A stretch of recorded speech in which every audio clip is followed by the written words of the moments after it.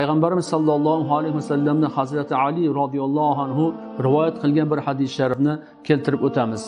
Unda payg'ambarimiz alayhissalom aytadilarki shabon oyining qoq yarmini kechasi bo'lsa o'sha kechasida bedor bo'linglar va kunduzini ro'zasini tutinglar deydilar. Chunki mana shu kechada alloh subhanahu va taolo dunyo osmoniga nuzul qiladi va bandalariga murojaat qilib so'raydi. Qani mag'firat so'raydigan bormi? Ularni gunohlarini mag'firat etaman deydi. Rizq so'raydiganlar bormi? Ularga rizqini keng mo'l qilib beraman deydi. Balolarga kulfatlarga musibatlarga mubtalo bo'lganlar bo'lsa ofiyat so'raydiganlar bormi? Ularga ofiyat beraman deydi. Undoqlar bormi bundoqlar bormi deb to quyosh chiqqunigacha ya'ni tong otgunigacha alloh taolo bandalariga murojaat qiladi deb marhamat qilganlar. Buni ibn moja rahmatulloh alayh rivoyat qilib keltirganlar.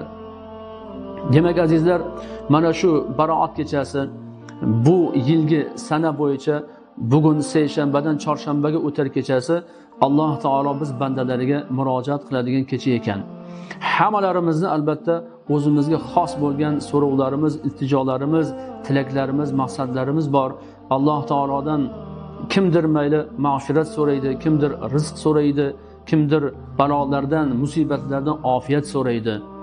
Shuni ta'kidlab o'tmoqchimanki boshqa yillardagiga nisbatan bu yil aynan hammamiz alloh taolodan ofiyat so'rashlikka mutlaqo muhtojmiz.